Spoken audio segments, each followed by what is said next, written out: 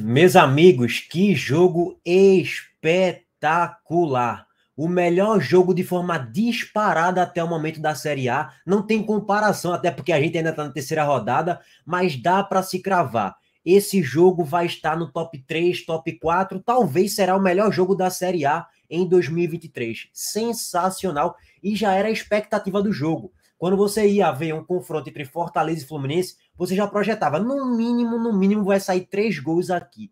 Saíram seis gols na partida e assim, é seis gols de um modo geral, 4 a 2 para o Fortaleza, com vaga para 10, 15 gols pelo menos, tá, gente? Parece até loucura isso aqui que eu acabei de dizer, né? Mas vamos pegar a estatística.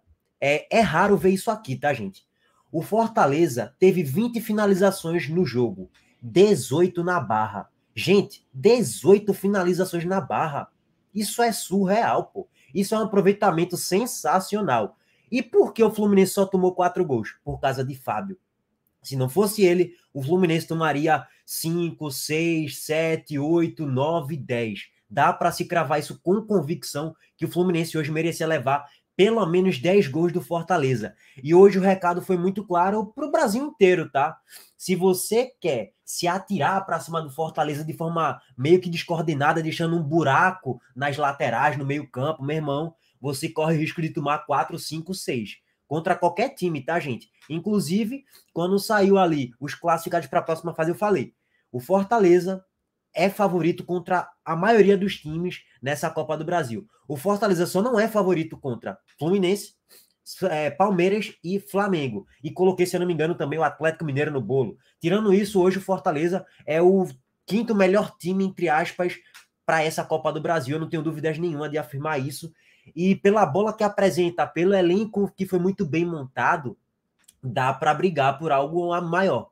Se o Fortaleza ele foi eliminado de forma rápida ali de uma Sul-Americana ou de uma Copa do Brasil na próxima fase, dá para sonhar com algo a mais na Série A. Quando eu falo um algo a mais, não é projetando título, porque assim, a gente sabe que o Palmeiras é o Palmeiras, o Flamengo é o Flamengo, o Atlético Mineiro tem um poderio financeiro, elenco maior do que o Fortaleza. Mas é aquilo, Palmeiras, se for avançando muito na, na Copa do Brasil e Libertadores, vai deixando um pouquinho mais de lado a Série A. Flamengo também, Atlético Mineiro também. Então, isso aí sobra espaço para o Fortaleza pelo menos figurar no G4. Esse Fortaleza de hoje, e não falo de hoje só no jogo de hoje, não, tá, gente? O Fortaleza dessa temporada, ele é melhor do que o de 2022 e o de 2021. E eu já venho falando isso aqui desde o início do ano, até mesmo quando foi eliminado na pré-Libertadores e na Sul-Americana. O time melhorou.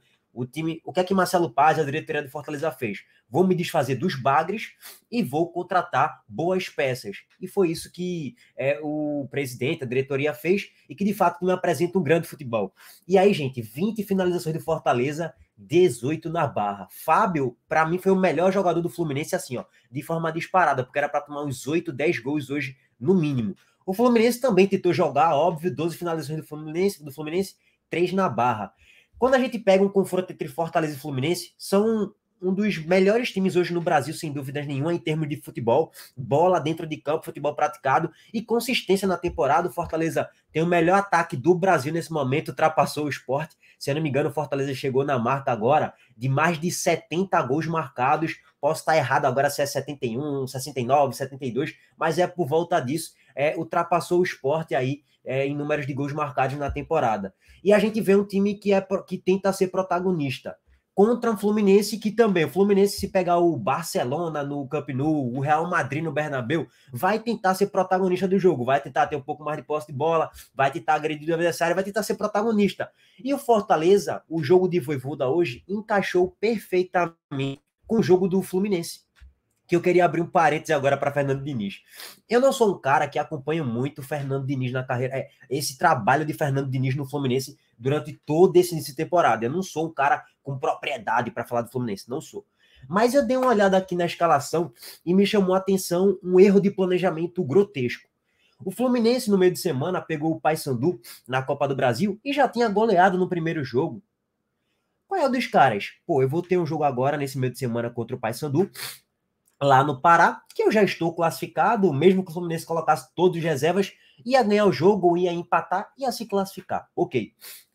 E no final de semana eu vou pegar o Fortaleza, um confronto ali de times do G4. Fluminense até então tinha 100% de aproveitamento. Eu vou pegar o Fortaleza lá no Castelão lotado, que a torcida do Fortaleza hoje fez uma festa bonita. Porra, qual é a minha? Eu vou poupar no meio de semana para colocar o meu 100% contra o Fortaleza, já que é um jogo mais difícil, jogo que vale três pontos, não tem nada a ganho, e que se eu for com meus reservas eu tenho tudo para perder o jogo. Fernando Diniz simplesmente colocou os titulares no jogo que já estava ganho e os reservas num jogo totalmente difícil, fora de casa, é, um dos times que estava no G4 e hoje é líder, que é o Fortaleza. A escalação do Fluminense foi Fábio Samuel Xavier, Nino, Felipe Melo, Alexander, André Lima, Ganso, John Arias, Keno e Germancano no jogo é, do meio de semana, na Copa do Brasil. Hoje, Cano não jogou, Ganso não jogou, Keno não jogou. Os caras entraram com o time todo reserva do meio para frente, entre aspas. Só quem foi o titular foi Lima ali do meio para frente e André na volância. Só. O resto foram os bancários. E aí, naturalmente, tu vai perder tua qualidade no meio-campo para tu trabalhar a bola. E a atuada do jogo foi o Fluminense, tendo mais posse de bola do que o Fortaleza, só que posse de bola não significa nada. O Fluminense teve 70% de posse de bola, enquanto o Fortaleza teve 30%. E aí, quando você diminui a sua capacidade técnica no meio-campo, de rodar a bola, de girar o jogo, de trabalhar com a posse, e o Fortaleza é um time que marca bem e gosta de ser protagonista, espetando nos contra-ataques, e que sabe marcar muito bem no campo de defesa, você naturalmente vai perder muitas bolas ali e vai gerar muitos contra-ataques e foi isso que aconteceu. Foi a atuada de toda a partida. Fortaleza roubando bola no campo de ataque e no campo da defesa e saindo rápido, explorando contra-ataques. Foi a atuada de toda a partida. Moisés no dia endiabrado, jogou muita bola hoje, dois gols, deixou jogadores na cara do gol. Guilherme entra no segundo tempo, perde 30 gols, Fábio faz 30 milagres. Enfim, a partida de Moisés hoje foi, foi impressionante. Bruno Pacheco também jogou muita bola, uma bela enfiada que ele dá para o próprio Moisés fazer um dos gols da partida, o terceiro do Fortaleza, que basicamente ali aspas liquidou a parada, né? É, gente, assim, é, foi um ótimo, uma ótima programação de final de semana assistir Fortaleza e Fluminense, sem dúvidas nenhuma. Eu acompanho muitos jogos e não é todo dia que a gente vê um jogo com é, tanta criação de chances claras, com os dois times tentando buscar o jogo, sendo protagonista da partida, tentando de fato jogar bola e não ficar fazendo cera, e não ficar é, pico, é, picotando o jogo, é, atrasando o jogo, fazendo. Porra, isso é um saco. E não o time ficar no retranqueiro, na retranca e não buscando ser protagonista. Pô, isso é um saco de ver jogo assim. Então, Fortaleza hoje fizeram um jogo de Premier League, tá? Assim, foi um jogo sensacional. Eu ia até clipar os gols, tá? E jogar aqui para vocês. Mas foram seis gols. E aí eu não tô com vontade de passar aqui uma hora clipando os lances, jogando e fazendo a transição de efeitos bonitinha, não, tá, gente? Queria, mas peço desculpa aí para vocês. Rapaziada, Fortaleza é líder da Série A momentaneamente, sete pontos conquistados de nove possíveis três jogos, duas vitórias e um empate, e foram três jogos difíceis. Fortaleza pegou o Internacional na estreia, no Castelão empatou, depois venceu do Couto Pereira fora de casa, beleza que o Coritiba é um time fraco, mas fora de casa você conseguir vencer do Coritiba, tirar pontos dele, não é todos os times que vai conseguir isso, e o Fortaleza pegou hoje um dos, o melhor time hoje do Brasil em termos de futebol jogado, tá? Bola, bola, futebol praticado. E o Fortaleza meteu 4 a 2 e chegou a 7 pontos, tirou a liderança do Fluminense. Lógico que ainda são três rodadas, o Botafogo ainda nem jogou, pode chegar a nove pontos, pode ultrapassar o Fortaleza na tabela de classificação. Então, assim, gente, de modo geral, o Fortaleza faz um excelente início de temporada, um grande jogo hoje lá no Castelão. O Fortaleza é um time muito bem organizado, muito bem treinado por Voivoda, e o Fluminense também é um time muito bem organizado e muito bem treinado por Fernando Diniz que são hoje um dos melhores técnicos atuando na Série A, sem dúvidas nenhuma. Só que Fernando Diniz escolheu poupar os seus titulares para só no segundo tempo acionar Ganso, Keno, Cano, depois que está 3 a 1 para o Fortaleza. Então, o Fluminense se atirou para cima do Fortaleza e você não pode se atirar de qualquer forma para cima do Fortaleza, que você vai tomar nos contra-ataques. É, o Fortaleza aqui tem muita qualidade numa bola longa, espetando com o Caio Alexandre fazendo lançamento longo, o Bruno Pacheco hoje que foi importante, um Hércules que também tem um bom trabalho de bola longa, de explosão também na transição defesa meio ataque, um Poquetino que também é um cara que sabe trabalhar muito bem a bola e fazer essa bola longa para um Galhardo explorar a velocidade dele, para um Romarinho se entrar no segundo tempo também entrar na ponta esquerda, um Moisés hoje que estava endiabrado também é um cara muito rápido, que tem um mano a mano muito forte, um Pikachu que em 2021 e 22 ele era titular e hoje ele é banco, porque além dele de fato não estar tá fazendo uma boa, uma grande temporada, uma temporada de Pikachu de 2021, é, o time melhorou do Fortaleza. Esse é o grande ponto. O elenco do Fortaleza melhorou e por isso que o Pikachu está comendo banco. Se pega um Fortaleza de 2021, mesmo Pikachu não estando lá, essas coisas, Pikachu seria titular do time de 2021. Então, o grande salto do Fortaleza foi se livrar dos bagres e contratar pontualmente peças interessantes. E olha que ainda tem Luceiro, que está lesionado e vai voltar aí com o decorrer da temporada. Então, assim, é, o time do Fortaleza está pronto para todas as competições. E isso aqui eu não venho falando hoje sendo aproveitador, oportunista, porque fez um grande jogo hoje contra o Fluminense, não.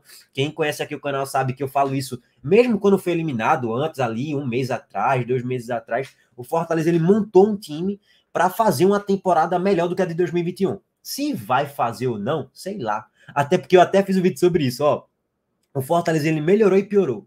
Ele melhorou o seu time, melhorou o desempenho, mas piorou nos resultados no início da temporada, né? Copa do Nordeste não chegou nem na final e na Libertadores foi eliminado na pré-Libertadores, na verdade, não chegou nem a figurar na fase de grupos. Enfim, é muito do aguardar. A projeção do Fortaleza para os próximos jogos é o Independente da Venezuela na Sul-Americana, tende a vencer, tende a se classificar na liderança, a coisa mais óbvia do mundo.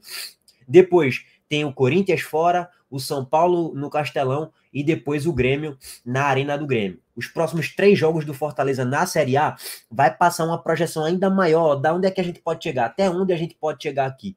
Acho que os próximos três jogos são confrontos bem pesados, é, de times porra, grandes de fato do Brasil, e o Fortaleza se conseguir, sei lá, duas vitórias e um empate, sei lá, ou duas vitórias e uma derrota, eu acho que a gente já pode começar a olhar com mais carinho e projetando, ó, dá para chegar na quarta colocação sem dúvidas nenhuma, e eu acho que dá, tá?